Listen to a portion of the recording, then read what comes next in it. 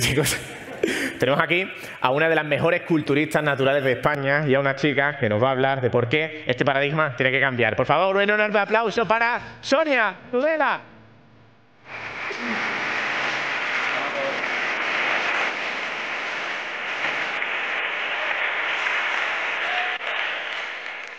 Muy buenas a todos, muchas gracias por estar aquí. Y bueno, mm, perdonadme que estoy bastante nerviosa, es la primera vez que me subo a un escenario de esta calidad y con un público tan potente. Hoy vengo a hablaros de la evolución histórica de la mujer en el deporte porque me parece un tema súper interesante y que debería tener mucho más protagonismo, sobre todo en, en, la gente que como nosotros estamos tan al día en el deporte de culturismo femenino. Y es que siempre han habido mujeres fuertes, algunas muy fuertes de hecho, mujeres fuertes y valientes que no tuvieron miedo en enseñar unos físicos muy poco acordes a su época y en hacer exhibición de su impresionante fuerza a pesar de ser una época muy compleja. Veamos algunos ejemplos. ¿Alguien conoce o ha oído hablar de alguna de estas tres mujeres? Poca gente o casi nadie las conoce. Tenemos a Josefina Blatt, que era una mujer forzuda. Tenemos a Valerie Valier, conocida como Charmion, y Kate Williams, conocida como Vulcana.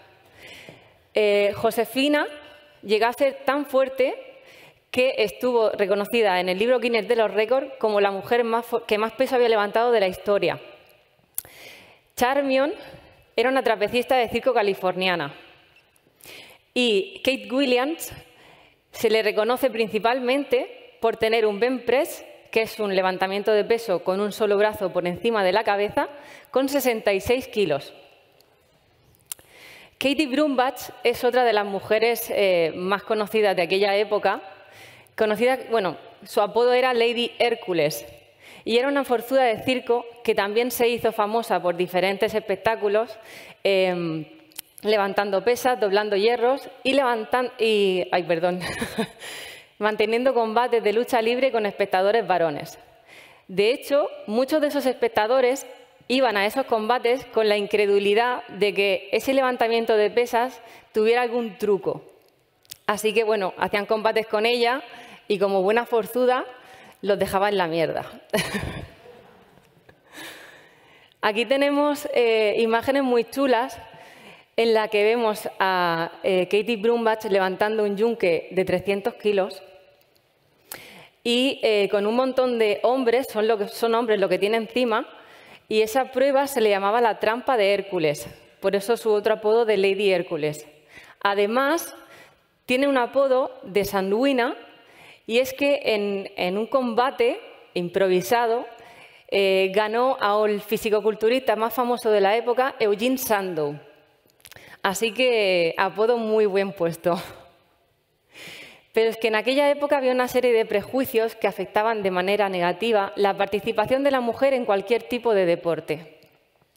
En el aspecto físico se decía que la mujer no tiene la misma capacidad que el hombre, por tanto, tienen que entrenar diferente, con poquita intensidad, ya sabéis, tenemos que tonificar.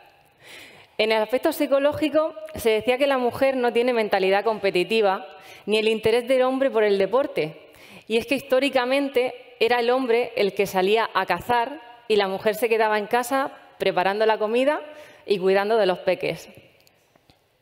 En el aspecto estético, pues bueno, siempre se ha sabido que los cánones de belleza nunca han sido los de una mujer fuerte, y si hablamos, perdón, si hablamos de salud, eh, el deporte de alta intensidad o cualquier otro tipo de deporte, mm, da igual del deporte que hablemos, estaba totalmente desaconsejado, ya que se creía que afectaba de manera negativa la salud, sobre todo a nivel reproductivo, como no. Ya en los años 40, un incipiente culturismo femenino empieza a brotar y Abby Stockton fue una de las primeras, bueno, de hecho fue denominada la primera dama del culturismo. Esta señorita, nada más y nada menos que en 1944, escribía sobre entrenamiento de fuerza en la mujer en una de las revistas más famosas de la época, Stretch and Health, que esa es una de las portadas. Hagamos un poquito de, de introspección, o sea, 1944. Una mujer escribiendo sobre entrenamiento de fuerza en una de las revistas deportivas mejores, o sea, más famosas de la época. Es una auténtica locura. Rápidamente, otras mujeres siguieron sus pasos aplicando en sus rutinas de ejercicio el entrenamiento con pesas. Y el culturismo empezó a crecer con mucha fuerza. Aquí tenemos a Abby Stockton eh, junto a Steve Reeves en aquella foto y es que eh, seguro que Steve Reeves ya os va sonando un poquito más, es uno de los culturistas famosos en aquella época. Empezaron a celebrarse eh, diferentes competiciones de culturismo, aunque más bien en aquella época eran vistas como concursos de belleza, que poco o nada tienen que ver con lo que hoy en día conocemos como las competiciones de culturismo. Y que sus físicos no cumplirían los cánones de belleza que hoy tenemos como, por ejemplo, bikini fitness o unas categorías un poquito más altas. En aquella época el entrenamiento se basaba en barras y mancuernas y los ejercicios principales eran el bench press, press militar, peso muerto, isométricos extremos, ejercicios de alterofilia, o ejercicios em, propios de artistas y trapecistas de circo. Por lo tanto, estas mujeres, menos entrenar con pesitas rosas, hacían absolutamente de todo. Eh, Arthur Jones, en 1960, eh, fue uno de los propulsores o inventores de las máquinas Nautilus, que son una de las primeras máquinas que se empezaron a implementar en los gimnasios. Y pocos años después, se empezó a popularizar el aeróbic, con lo que hoy conocemos más como clases dirigidas. En esta época, o ya más o menos cuando se empezó a popularizar el aeróbic, también se empezó a popularizar unos físicos más delgados, cosa o dato que también afectó de forma negativa el culturismo. En los años 70 aparece Lisa Lyon, que es una pionera del culturismo femenino. De hecho, para muchos es la primera mujer culturista del mundo. Como veis, tiene un físico eh, trabajado, suave, proporcionado, pero que hoy en día no cumpliría con los cánones de belleza de una bikini fitness. Aún así, ella fue una de las propulsoras del culturismo, apareciendo en diferentes revistas y programas, haciendo que el culturismo femenino empezara a crecer con más fuerza. Aquí tenemos a Lisa Lyon justo, junto a este señor que no sé si alguien de aquí conoce. ¿Podéis decirme quién es? Arnold Schwarzenegger. y este es uno de los grandes problemas, que es que los culturistas masculinos sí que los conoce la mayoría de gente. Seguro que incluso a las mujeres muchos nombres de estos culturistas nos suenan un montón. Pero ¿quién las conoce a ellas? Es que no se habla de ellas y ellas son las propulsoras de lo que hoy en día conocemos como el culturismo femenino. Ya en los años 80 aparece Rachel McLeod y Corey Everson, que la siguieron, pero con físicos ya claramente más musculados. Ellas son ganadoras de varios premios Olimpia, pero incluso en esa época eran mitad deportistas, mitad modelos. O sea, aún no se les consideraba culturistas como tal. Linda Murray. Aquí ya vemos un cambio importante, ¿verdad? Aquí ya el uso de sustancias empezaba a ser mucho más notorio, pero bueno, ella eh, es la ganadora de todos los premios Olimpia entre el 90 y el 95. Y aquí ya se empieza a notar, eh, pues eso, que estas mujeres ya mm, empezaban a utilizar sustancias, pero básicamente está influenciado porque el sector masculino también las utilizaba bastante ya en esa época y al final era el camino que empezaba a tomar el culturismo femenino. Aún así, empezaron a aparecer las primeras competiciones naturales. Eh, Katie Harrison es eh, la pionera, digamos la campeona, la que empezó a propulsar el culturismo natural en la WNBF que fue el primer año en el que se empezaron a realizar competiciones naturales. De hecho, fue una alternativa para muchísimos competidores que no querían utilizar sustancias dopantes. Empezaba a ser una alternativa real. Eh, en ese mismo año, en Manhattan, tuvo lugar la primera competición pro natural de la WNF que incluyó a 10 mujeres. O sea, fue la primera vez que vieron mujeres subir al escenario y que marcó la gran diferencia para que a partir de ahí muchas más mujeres empezaran a animarse a competir. Y ella, la que aparece en la portada, es, eh, digamos, eh, la campeona de, ese año. Aquí ya tenemos a Katie Unger, o Unger y Nancy Andrews, con físicos ya claramente más musculados que siguieron la estela eh, de Katie y que bueno, pues enseñaron que el culturismo natural crecía con fuerza y que era una alternativa real. Por tanto, muchas mujeres se animaron a seguir trabajando, a meter cargas en sus entrenamientos y a ponerse bien tochas.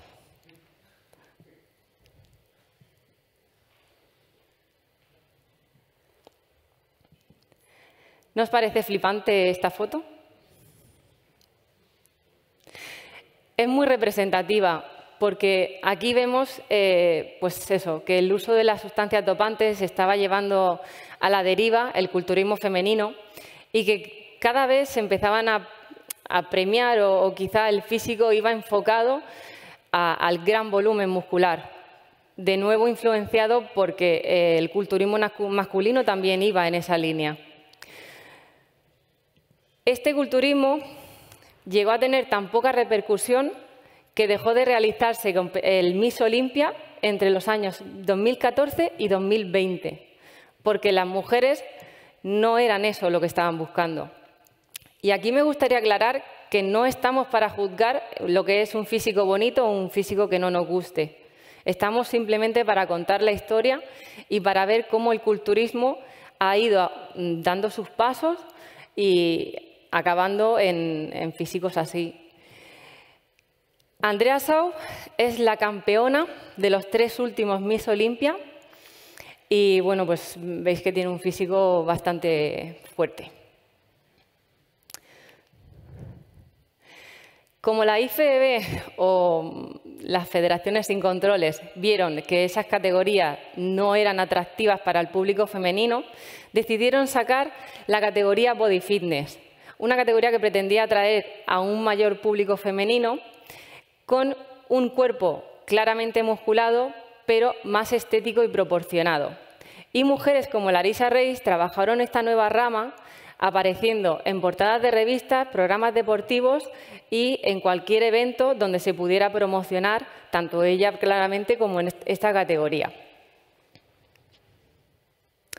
Ya en 2010 aparece la categoría Bikini Fitness, otra categoría que pretendía atraer a un mayor público femenino, con una estética más fina, suave, elegante y armoniosa. Eh, mujeres que han contribuido a que esta categoría acabe siendo un gran boom mundial son las grandes influencers como Michelle Lewin o Sacha Fitness.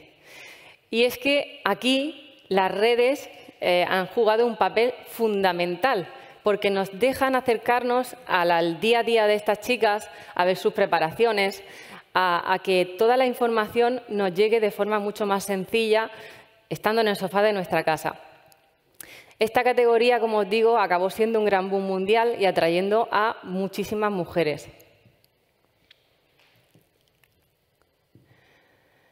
Bien, ahora os quiero comentar un poquito mi experiencia y es que yo empecé compitiendo en la IFBB allá por el 2016. Cuando yo empecé a interesarme por el deporte, no tenía, eh, no voy a decir las referentes correctas o no correctas, pero las referentes que yo tenía, o las mayores que yo tenía, eran estas, estas tres entre muchas otras que había en aquella época. Y eh, esta es mi evolución como bikini tanto en el 2016, 2017 y 2018. En total he hecho 12 competiciones en estos tres años y en mi primera etapa como competidora hice todo lo que no se debe de hacer como bikini natural. no hice nada bien, absolutamente nada. Desde elegir a una preparadora famosa simplemente por el hecho de ser famosa y porque a mí me gustaba su cuerpo, hasta seguir una preparación que desde el principio estaba clarísimo que no estaba bien planteada. Por suerte luego pudimos reconducir la historia y el físico ha ido evolucionando bastante. En 2017 también compito en la IFBB y en 2018 fue cuando aparece la WNF en España y se celebra el primer campeonato en Palma de Mallorca. Y ahí lo vi clarísimo. Si existe una federación natural, tengo que ir allí. Porque aunque ahí competía en la IFBB, nunca tomé ninguna sustancia que me hiciera estar por encima de nadie. Tengo un punto de partida, como todo el mundo, y es que eh, estas fotos de abajo eh, soy yo después de mm, pegarme la fiesta padre, comer de todo y por todo, salir y tener una fiesta normal de una chica 20, largos, dejémoslo así. Eh, en ese momento me puse en manos de mi pareja, que es Carlos, lo tenemos aquí. Levanta la mano. eh...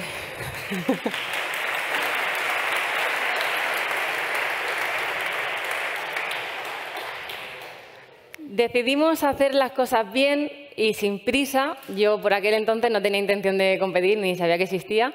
Así que decidimos hacer una recomposición corporal, aprender a entrenar, mejorar hábitos alimentarios y tomarme las cosas con calma. El punto que yo conseguí es aquel. Las fotos tienen ya unos cuantos años, estamos hablando del 2015, 2013 y 2015. Y bueno, es curioso porque es que en las dos fotos peso exactamente lo mismo pero la composición corporal, aunque no he encontrado fotos que se aprecien mucho mejor, ya os digo yo que no tenía nada que ver. Cuando me puse en contacto con la primera preparadora, yo venía de comer 2.300, 2.500 calorías de media, con mis saltos de dieta, con mucha flexibilidad y sin ninguna restricción.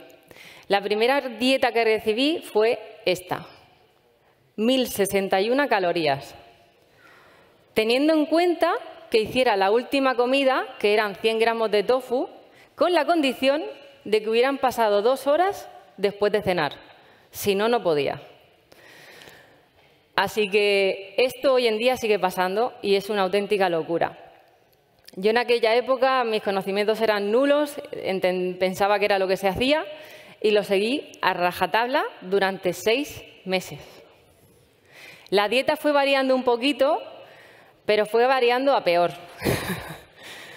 De hecho, recuerdo que en, esto fue en noviembre del 2015, recuerdo que en febrero me dijo, vamos a hacer un pequeño volumen y me subió a 1.200 calorías. Está bien, un respiro. Este fue mi primer entrenamiento en el que no hay ningún tipo de programación, no hay ejercicios de fuerza, no hay una fase de hipertrofia. Es, como si una niña que acaba de empezar dice voy a hacer los ejercicios que hace mm, una, otra, otra, otra y me los pongo todos y me tiro dos horas en el gimnasio. Cinco series, 15 repeticiones. Este entrenamiento fue el mismo durante toda la preparación, simplemente cambiaba el orden, el tipo de repeticiones y llegando a ser de seis días a la semana en lugar de cuatro. Este fue el punto que conseguí.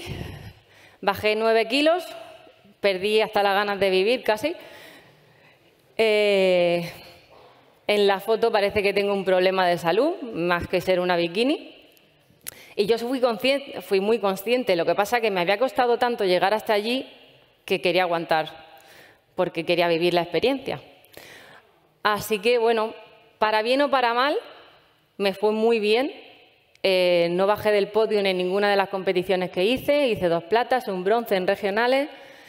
Gané el campeonato más importante de Cataluña. Clasifiqué para el Nacional de España quedando tercera.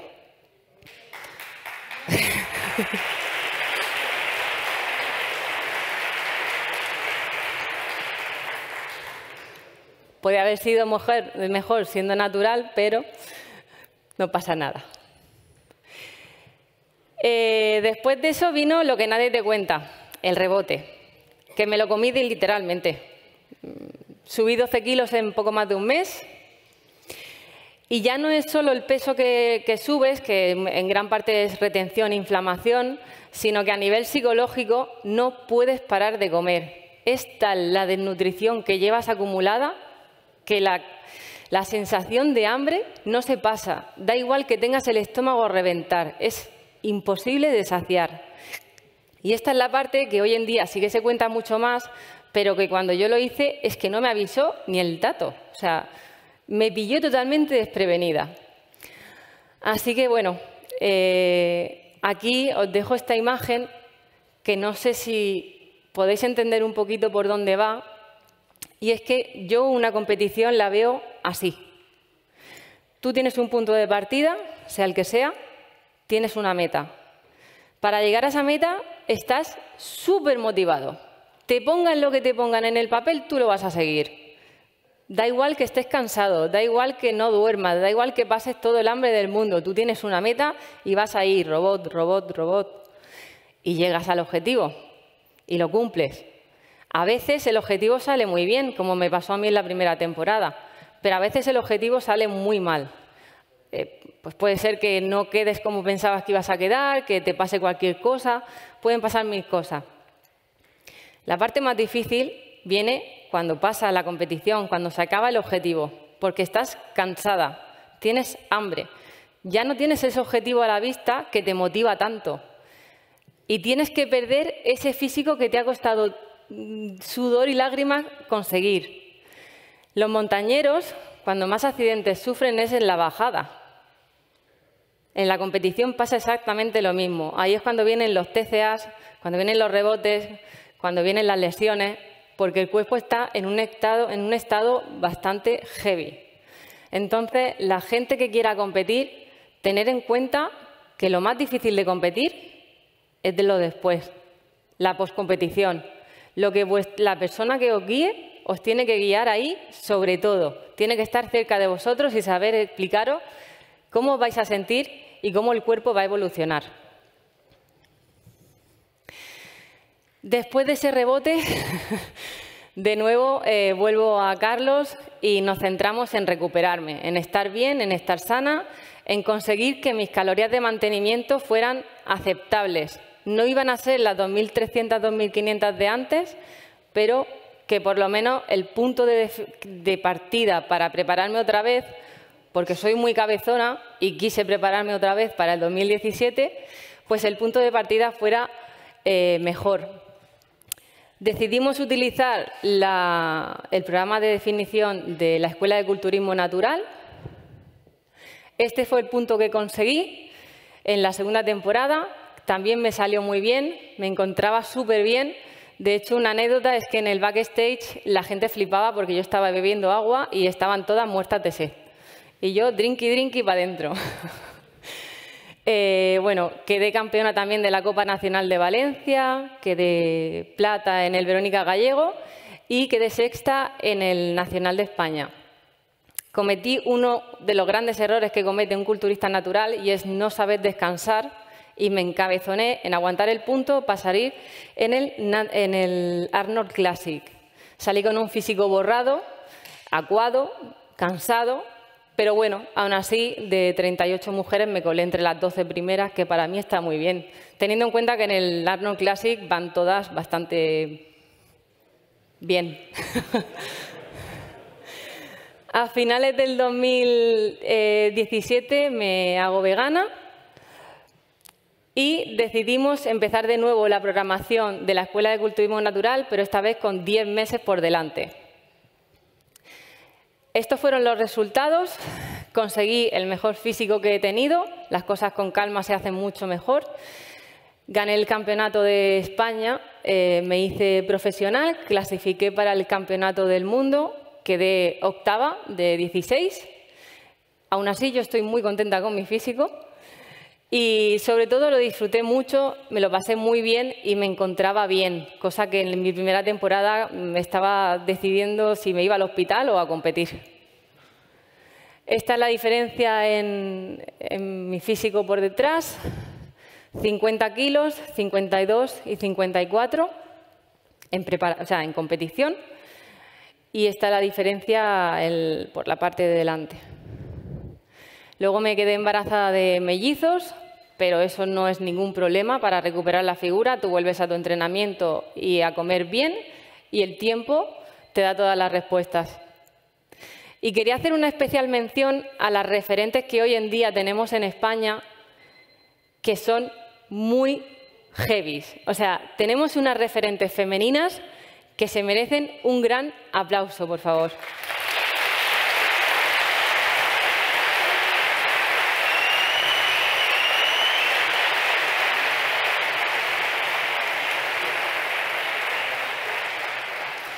No me quiero ir de aquí tampoco sin, pues eso, sin mostrar a los referentes masculinos que tenemos que también se merecen un 10 de 10.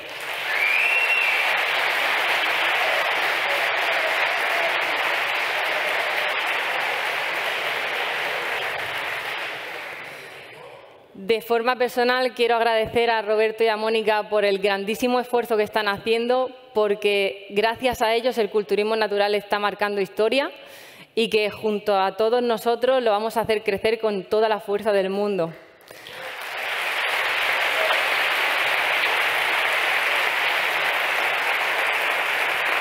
Gracias a todos.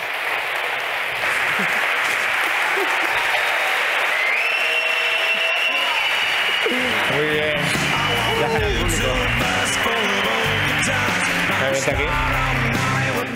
Pues igual que antes, equipo. ¿Quién quiere compartir lo que más le ha llamado la atención, lo que más le ha sorprendido de esta ponencia de Sonia? Que oye, para lo nerviosa que ha, dicho al principio que se ha puesto, la sé de puta madre, ¿sí o no? que no es fácil. ¿Quién quiere compartir? Sin miedo. Estamos en familia. Ponte, ponte de pie. La dieta que te pusieron está que era horrible. O sea, esto lo que más, no sé cómo gente se dedica a eso puede mandar Sí, se siguen poniendo hoy en día este tipo de protocolos, son protocolos muy obsoletos, pero que por desgracia muchas chicas los siguen eh, llevando a cabo. Entonces, también quería que vierais que eso no es lo que se tiene que hacer. Genial. ¿Alguien más quiere compartir por allí una mano? Hola, buenas. Eh, mi nombre es José de República en Series. Quería darte las gracias primero por la ponencia, me ha encantado. Decirte que sigo en redes desde el principio, incluso cuando entraste en la escuela y planteaban los por el hecho de ser vegana y no haber Sí. Y bueno, que me encantó todo el proceso tuyo con el tema de los mellizos y demás, pero te fui siguiendo en redes. Muchas gracias. Muy, natural pudiste llegar a todos, eh, pues, a muchos humanos, como es eh, Clara Luz, y cómo es ser un atleta, alguien que cumple el hecho de tener eh, familia, ¿no? Eh, darte las gracias por eso, porque me quedo con una cosita y es el saber, mi última competición, ¿cuántas calorías eh, tuviste manejando? Pues no lo recuerdo exactamente, sé que lo mínimo me suena de estar rondando las 1200, 1300, pero ya te estoy hablando del último mes. Me suena, creo que era lo más bajo. Intentamos siempre no bajar del mínimo de calorías de, pues, de supervivencia. Y, y, esto, bueno, lo que se enseña está muy por debajo de la supervivencia. Fantástico equipo. Pues, un último aplauso para Sonia. Enhorabuena, tía.